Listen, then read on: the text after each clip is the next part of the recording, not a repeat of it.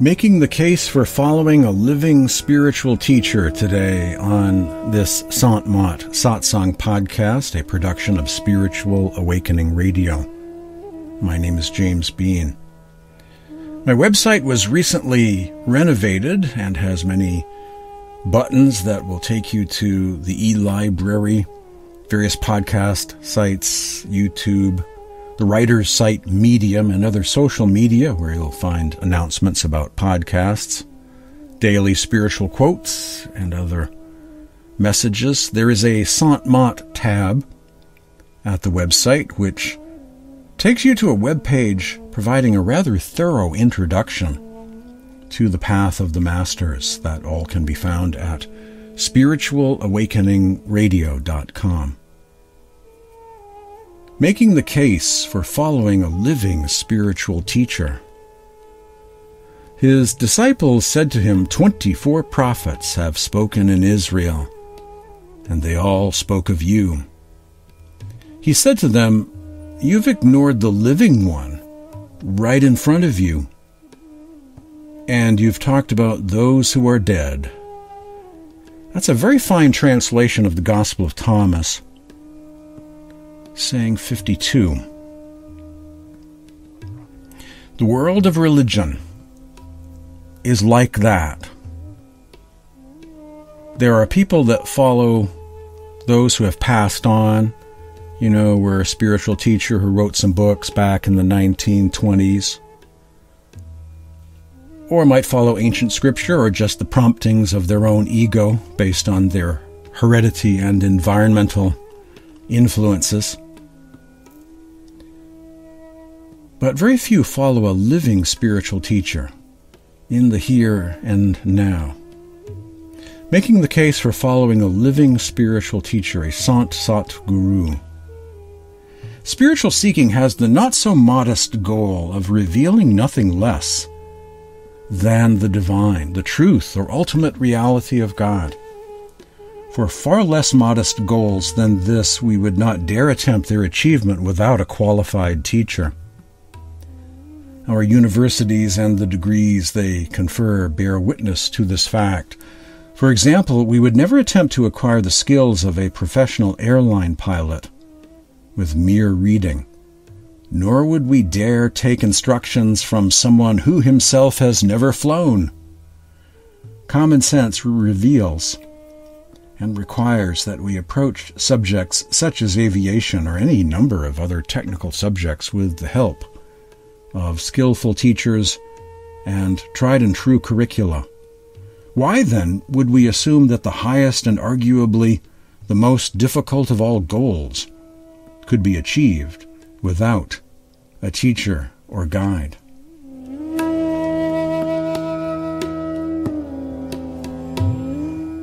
That was an excerpt from an article by Don Howard about his own spiritual search for a living master, a living Sant Sat Guru, his own seeking and finding, and various lessons he learned along the way. I can send you a copy of that article if you like. Just request it via email. James at spiritualawakeningradio.com. A note about has never flown theory versus experience a note about the blind leading the blind. If a guru does not see inner light, himself or herself, if a guru does not see the light or hear the sound and they don't uh, experience, they don't have experiences of the inner regions, the various levels or heavens, odds are his or her students probably won't either, even if they do teach the theory of these things. It's fascinating. Where two or three are gathered in my name, there I am in their midst. There is a spirituality that is taught, but there is also a spirituality that is caught.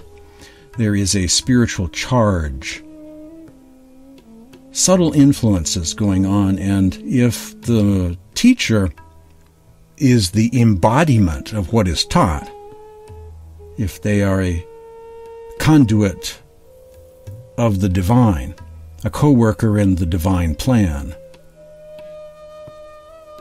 are the embodiment of what they are teaching, then on subtle levels they influence their students beyond learning.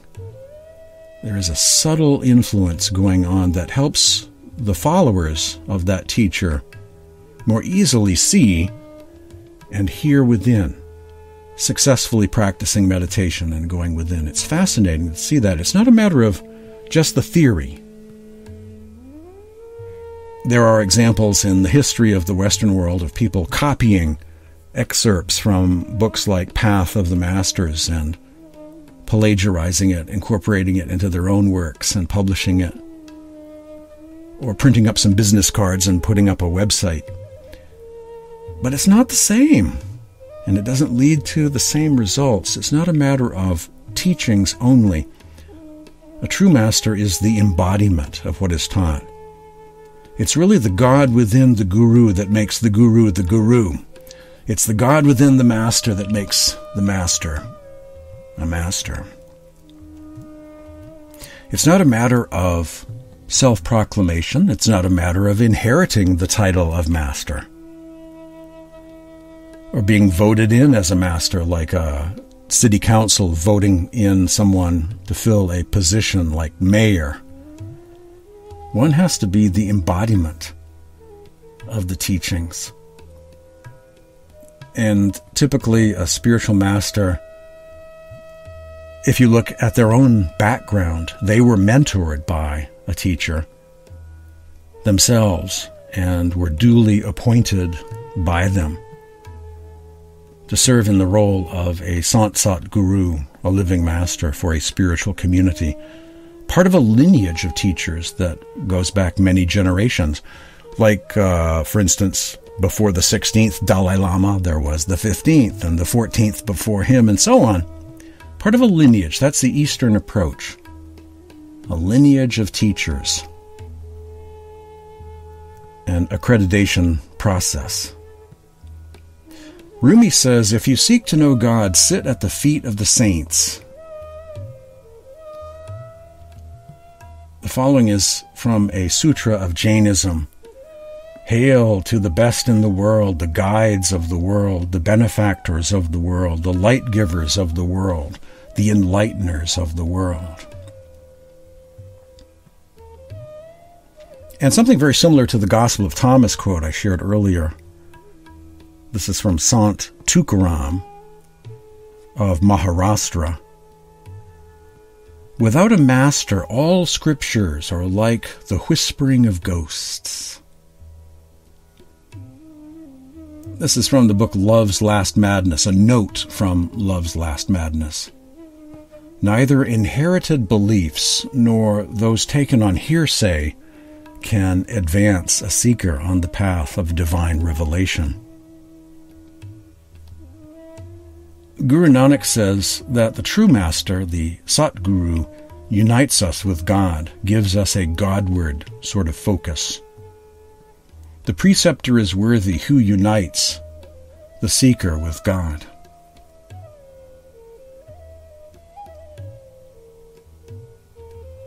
This is from Mahant Das, who was affiliated, I believe, with the Sant Dharam Das lineage of masters, the Kabir lineage. The name of the Lord is to be obtained through initiation from a qualified master. Initiation, which is one of the core processes of all esoteric paths, is the medium through which the individual soul, Jiva Atma, learns to transcend the fetters of space, time, and causation, and gets transformed into the spiritual world of Param Atman. The guru who initiates is the one who is himself firmly established in the spiritual experience. Unquote. This is from the Adi Granth, the Sikh Scriptures, Volume 3, Sri Guru Granth Sahib, Volume 3. The Sat Guru given gnosis or direct experience is lit up in the heart. with whose light is dispelled the darkness of spiritual ignorance. Unquote. Back to one of those Gnostic Gospels. This is from a text known as Dialogue of the Savior, one of the Nag Hammadi texts.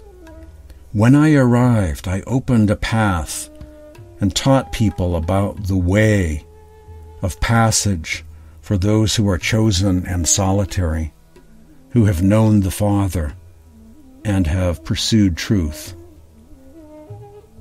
That's an interesting quote, which describes the role of a living teacher. I opened a path and taught people about the way of passage for those who are chosen and solitary, who have known the Father and have pursued truth. It, to some extent or degree, reminds me of saying 17 of the Gospel of Thomas I will give you what no eye has seen, what no ear has heard that's the role of a living teacher to provide initiation into the mysteries of the kingdom of the heavens. And so, in that sense, Mat has some similarities to other cousin schools of mysticism that at various times in history have operated. Mat doesn't really click so well with New Age movement or Western esoterica but more in line with, uh, or more, has more affinities with Kabbalah, Gnosticism, Sufism, Platonism, and of course Pythagoreanism in ancient times, Hermetica, who had living teachers, not just simply esoteric writings, but had living teachers, Valentinus of Alexandria, or some teacher Gnosticism is not just about texts, but those who wrote the texts and, you know, to find people like that in the world today, living Gnosis now, someone like that. A living Valentinus, a living Meister Eckhart, a living Rumi or Shams of Tabriz, not just writings from generations back. Dust from Nag Hammadi, Egypt, on an archaeological dig. Swami Sant Sevi Maharaj said, this mysterious path is described in the holy books, but it cannot be found simply by the study of sacred texts. It is found by the grace and guidance of an accomplished teacher.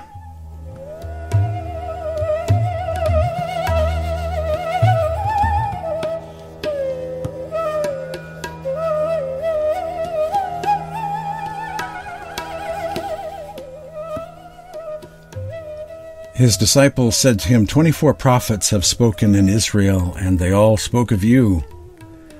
He said to them, You've ignored the living one right in front of you, and you've talked about those who are dead. A saying of Jesus from the Gospel of Thomas, saying 52 once again. And that's kind of how it is in the world of religion and spiritual paths today. You know, there's a focus on the past, but there's no living teacher that is sought out, someone here now in the world today, a living path, writing their own scriptures, adding their own chapter to the book of life in the present generation. Books falling from the sky did not create, create the world religions. Books falling from the sky did not create the world religions. Before there was the book, there was the author of the book. Without the living teachers, there would be no Torah, no noble truths, no eightfold path, no sermon on the mount, no sermon on the light, no golden rule, no gospel of Thomas, no surahs of the Quran, no ahimsa message of Lord Mahavira in Jainism, no sages to compose Upanishads, no Krishna and Bhagavad Gita, no Japji of Guru Nanak, no Te Ching of Lao Tzu, no golden verses of Pythagoras if there was no master Shams of Tabriz. There would have been no disciple by the name of Rumi. If there was no Swamiji Maharaj, no Tukaram, no Tulsi Sahib, no Dadu, no Ravi Das, no Mirabai, no Maharishi Mehi, no Sawan Singh, no Guru Kabir, no Darya Sahib, no living masters, there would be no Sant Mat, no students, no initiates, no satsangs to attend, no school of spirituality, no clear and organized system of inner light and sound meditation called Surat Shabad Yoga to be initiated into, nobody to give the initiation, no one to expand anyone's horizons and awareness.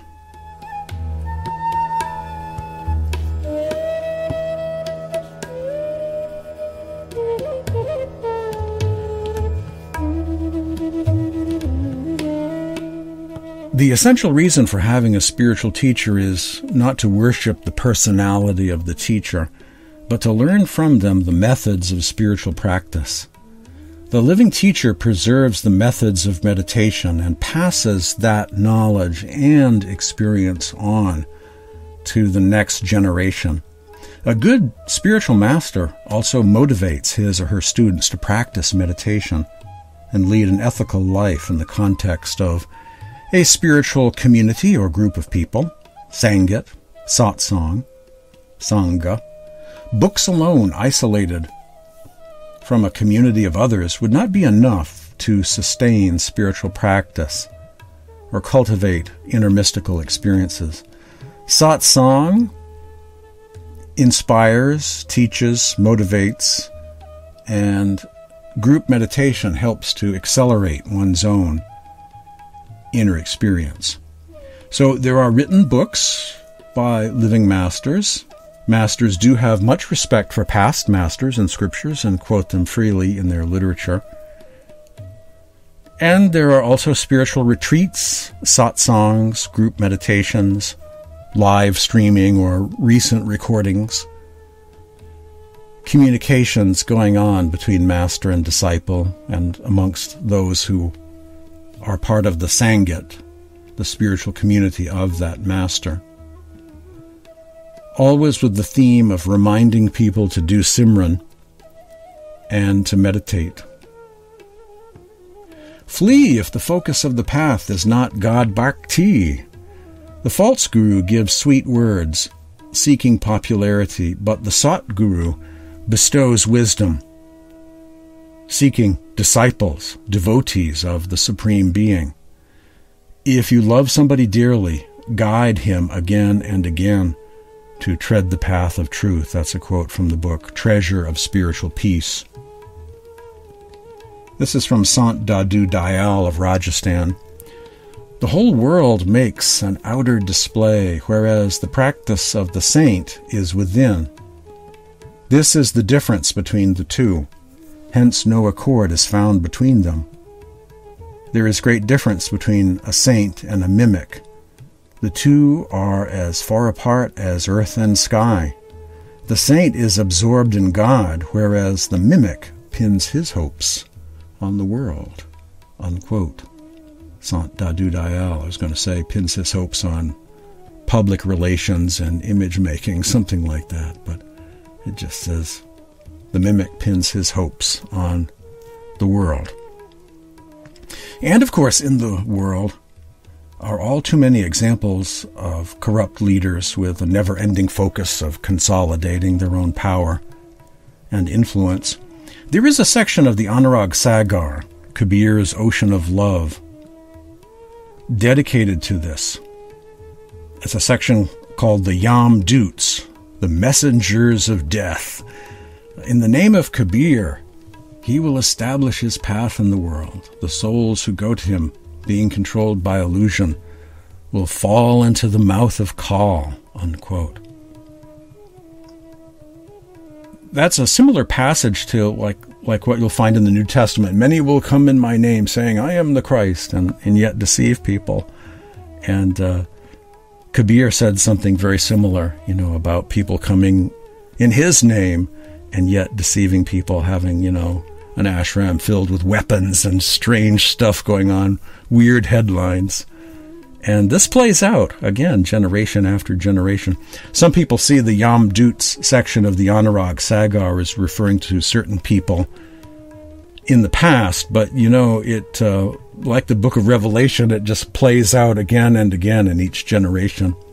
You know, the tea leaves of interpreting prophecy tend to assemble again and again into some shape or form. And so in each generation, we find this playing out. There are always the Yam Doots in our midst. Panths of death, dusty cups that quench not thirst, no more light, no more sound.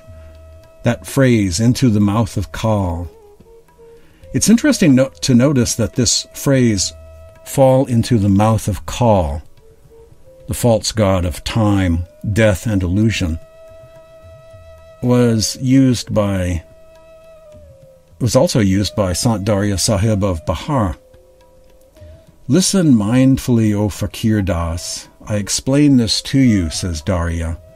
As long as the discipline of the sound current is preserved unadulterated, the line of succession will truly continue. But when it is mixed with outer rituals and display of external garbs, my sound current will part company my divine essence will depart, and the souls will go into the mouth of Kal. I shall then come to this world and shall proclaim the teaching of the sound current again. Proclaiming the teaching, I shall found the line of succession, and emancipating the souls, I shall take them to my abode.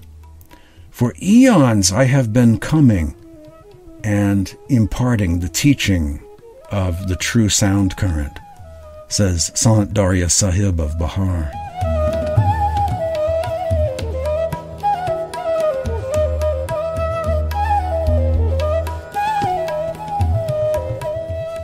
That is one of the most fascinating hymns that's from, from an anthology of the writings of Sant Darya Sahib of Bihar.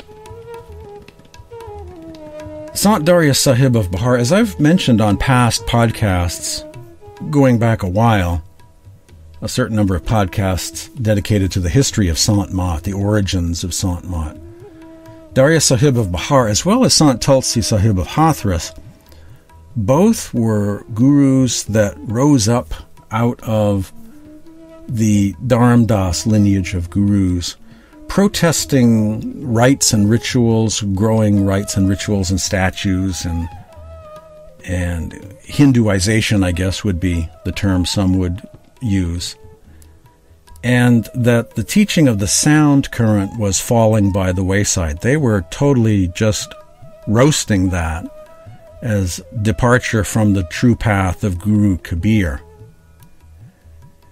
And you see what happens over time over the centuries, you know, in order to get to the initiation of the sound, people have to be experiencing inner light. The old time, old timey method of initiation in Sant Mat is to initiate people into sacred names and light. And then when they see light, they move on to the initiation of the sound. Well, if in a group people generally aren't seeing light, then they don't go proceeding to the second initiation into the sound. And soon enough, there won't be any light, no sound, and it's all looking back in time and adopting uh, a path of scriptures, past masters, statues, beads, rites and rituals, and so on.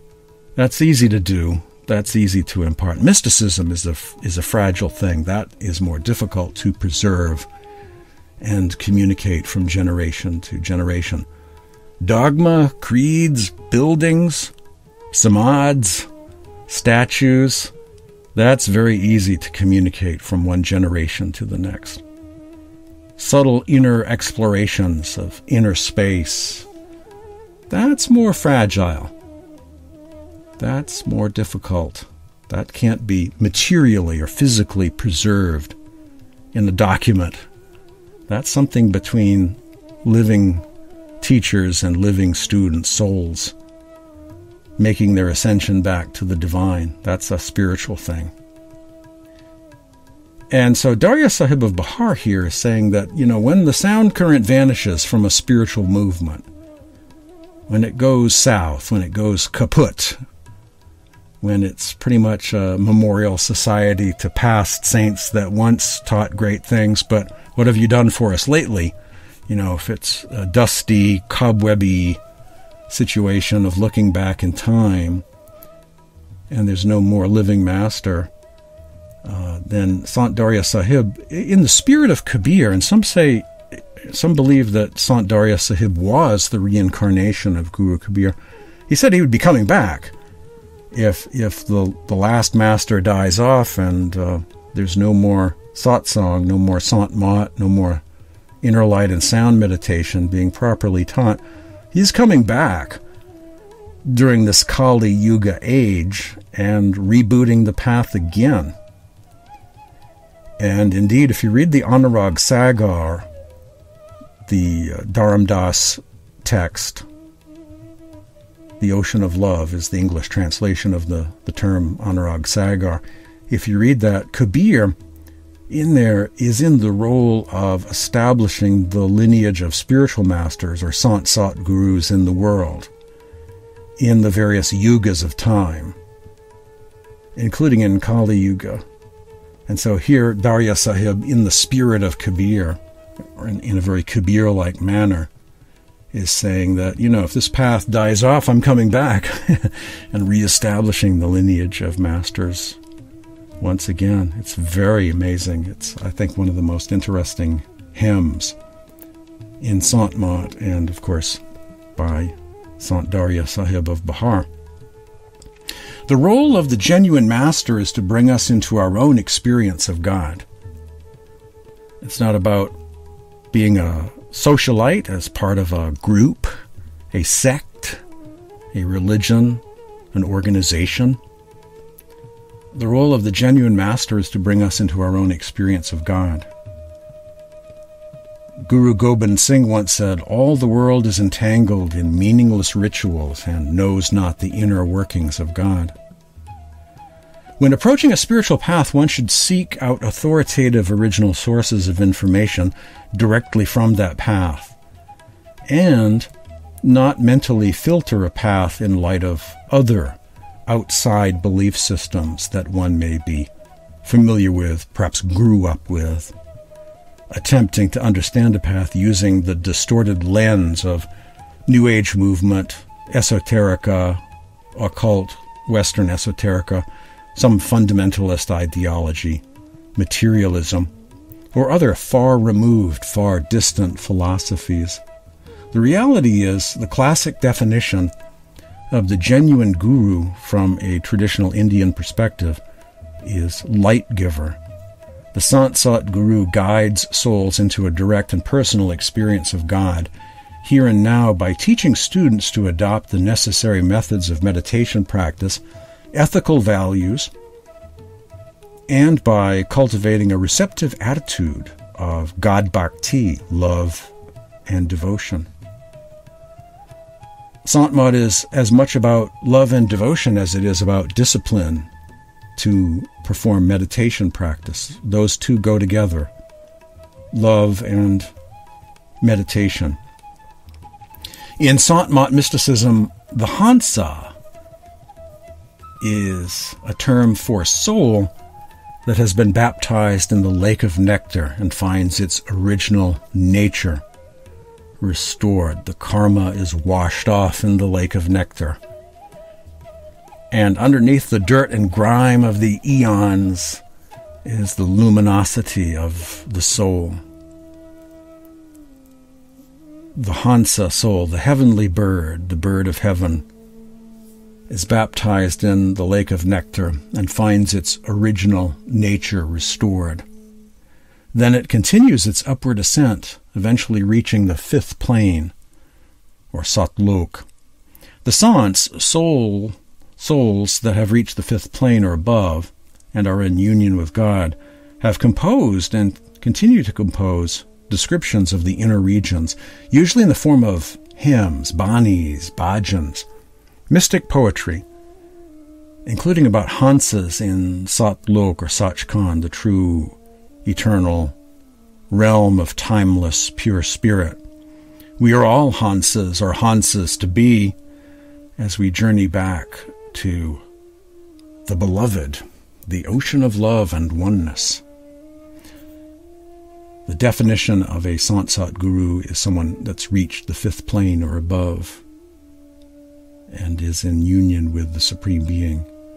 And of course, also has to be a fairly egoless conduit for the Supreme Being in the world.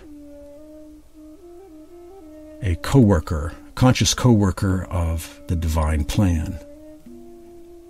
I was reading in the, the Mandaean scriptures, Gnostic scriptures, and it was a fascinating hymn about the Supreme Being assuming human form in order to communicate with souls here. That's a great definition also of the Sant Sat Guru. How does a formless God from another dimension communicate with souls that pretty much are attached to the world of the five senses, and that's the world they operate in? They have no sixth sense or open third eye intuition not so good, hit or miss. How do you communicate? How do you reach out? You assume a human form and introduce yourself. A sant is a Hansa soul who, by his or her own spiritual master, was mentored and appointed to become the leader of a spiritual community. They are a sant and Satguru as a result of their own inward spiritual state of realization and oneness with God after countless hours of meditation. It's not based, as I mentioned earlier, on an outward title, robe, or turban, or image making and public relations management. The inward reality is what counts. The inward reality is what counts. The Sants of India have produced some of the most eloquent, ecstatic, God devoted poetry, prayers, and hymns the world has ever known. Coming up next, some selections from the Adi Granth, the Sikh scriptures, as well as mystic poetry of Guru Kabir.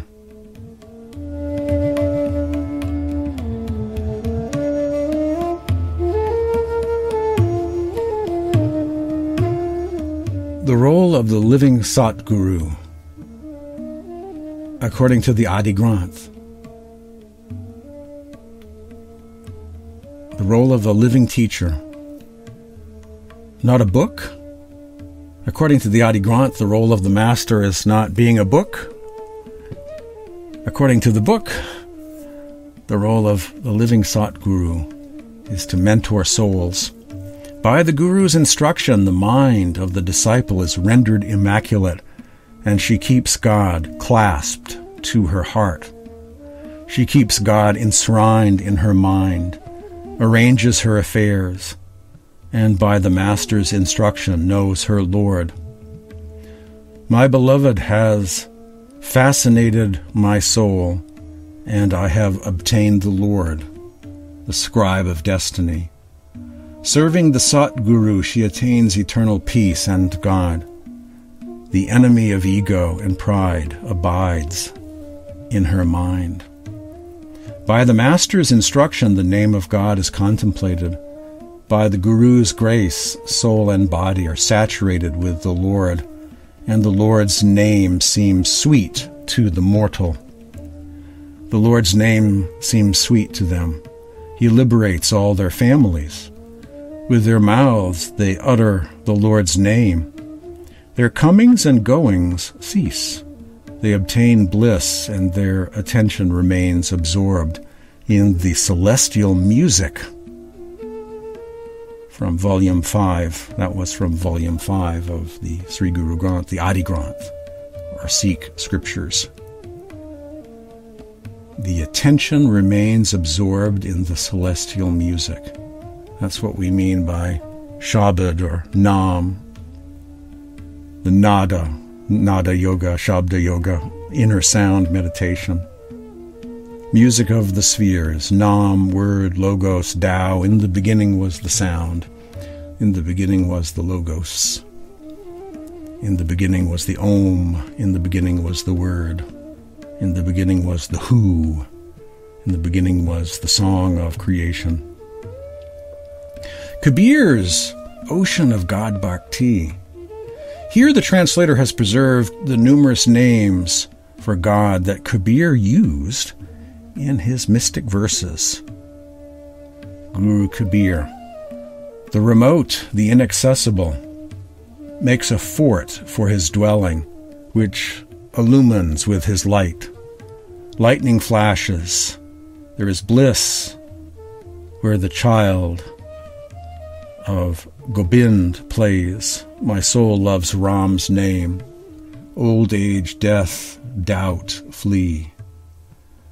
They who care about castes are forever singing praises about themselves, but sweet melodies play unstruck where the Lord, Gopal, dwells. The remote, unknowable one who established the earth, the spheres, the three worlds, and the three virtues lives in every heart. He reveals himself in the blossom's fragrance. He dwells in the nectar of a mud flower, the lotus. His mantra is in the twelve petaled heart. His light is visible above and below. He illumines the infinite sphere of silence. Neither sun nor moon are found there. The primal Niranjan, or Lord, enjoys himself. He knows the universe and each heart. He bathes in the lake of nectar. His mantra is, I am He, or I am that.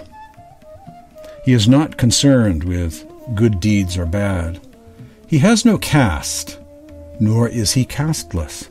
He knows neither pain nor solace. He is in the Guru's house. He cannot be avoided. He knows not birth or death. He is infinite silence.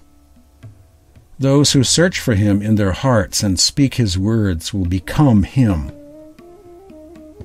They who place his mantra of light in their hearts, Kabir says, those mortals will certainly swim across.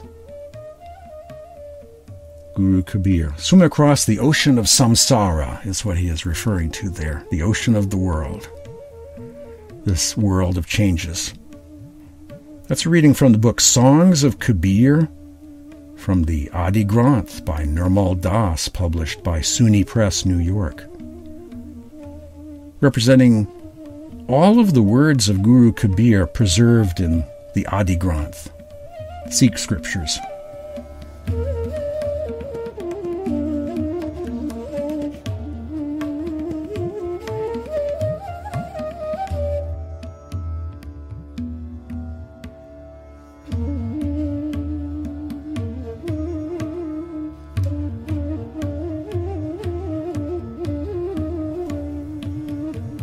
This is also from Guru Kabir, from Songs of Kabir culled by Rabindranath Tagore, who himself was a famous mystic poet. This really embodies today's podcast, making the case for following a living spiritual teacher. Says Kabir, It is the mercy of my true Guru, the Sat Guru, that has made me to know the unknown. I have learned from him how to walk without feet, to see without eyes, to hear without ears, to drink without mouth, to fly without wings. I have brought my love and my meditation into the land where there is no sun and moon, nor day and night. Without eating, I have tasted of the sweetness of nectar and without water I have quenched my thirst. Where there is the response of delight, there is the fullness of joy. Before whom can that joy be uttered or described? Kabir says the Guru is great beyond words, and great is the good fortune of the disciple.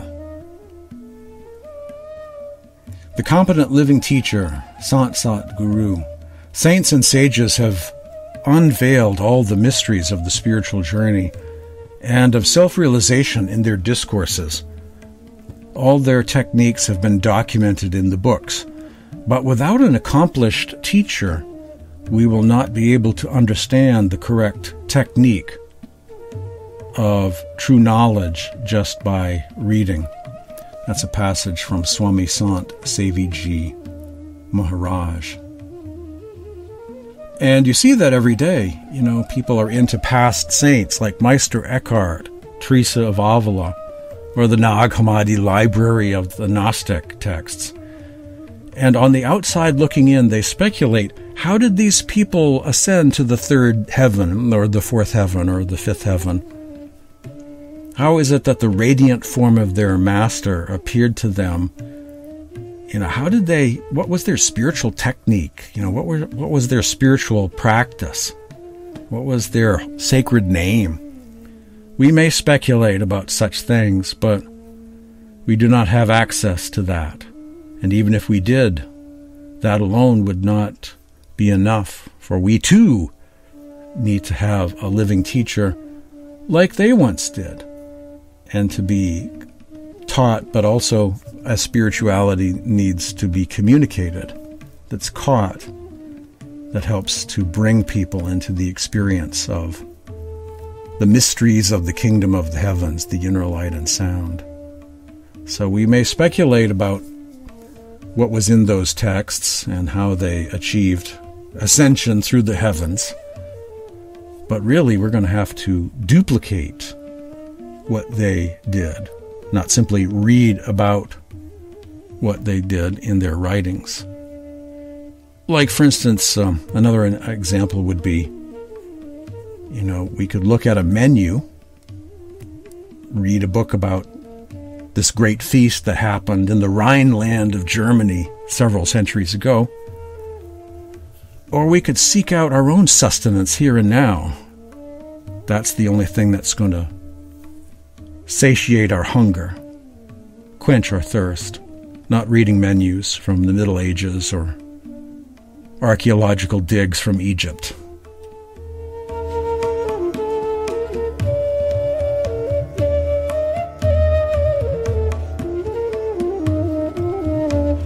The message of the Masters fills the world with hope, and at the same time it offers a rational foundation for such hope. It not only tells people what they should do, but it offers them a definite method of doing it. In the march of the ages, cycle after cycle, in every planet where human beings reside, the great masters are the light bearers of that world. Until the end of the ages, they will remain the friends and saviors of those who struggle toward the light. That's from Julian P. Johnson. His book, Path of the Masters. The following is from a satsang discourse of Baba Ram Singh, commenting on some verses of the Sarbachan Radhaswami poetry of Swamiji Maharaj, the great saint of Agra. Swamiji Maharaj says, Even if you get a true living master and he gives you the initiation, if we are not doing our meditation and we are not following the practice and the path, then that nam again does not do anything. So if we are not doing our meditation and we are not following the path and the teachings of the masters, then neither the nam can do anything nor the guru can do anything for us. So we should consider ourselves indeed fortunate if we have the pangs of separation of God Almighty and of our Master within, and we follow that path and we do our meditation with love and affection. That way, if we do our meditation daily with love and affection, our mind will also become pure. The burden of karmas also is lessened, and the mind, which is scattered all over the place, also gets focused within, and the attention gets focused within. And if we do not do our meditation, then the mind, which is impure, continues to remain impure and keeps building up the karmas. Swamiji Maharaj says now that he has explained what Nam means, what are the types of Nams, and what is the credibility and what is the strength of the Master who gives this Nam to us, he goes on to say that finally it is the will of the Master. All of this is contained in the will of the Master. It is in the will of the Master to shower His grace on people who have come with impressions from the past. And He can convert them into gurumukhs, disciples. So if we sit for our meditation every day, then our mind will also become pure and we will get the grace of the Master also. That's from a recent satsang discourse by Baba Ram Singh from a talk titled The Nam That Is Given by the Masters. Until their charging is there in that Nam, it is not really an initiation an interesting name for a satsang discourse, translated into English a couple years back. Guru Kabir once said, The only people who find this wisdom or truth are those who delve deep into the waters of knowledge, the waters of gnosis. Those who are afraid of drowning in the water of knowledge only sit by its banks and simply talk about the waters of knowledge.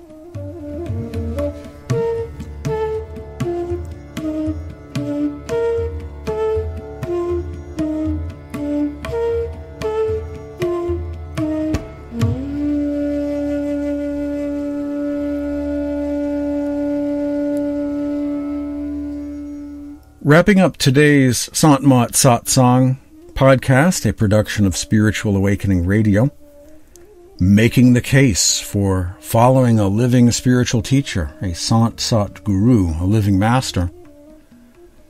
This is an ode to the Sant Sat Guru, a Guru Purnima ode to the living one, the Sant Sat Guru.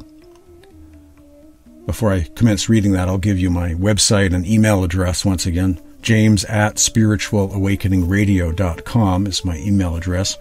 If you have any questions or looking for any particular books, any information you're seeking, also the website once again is spiritualawakeningradio.com.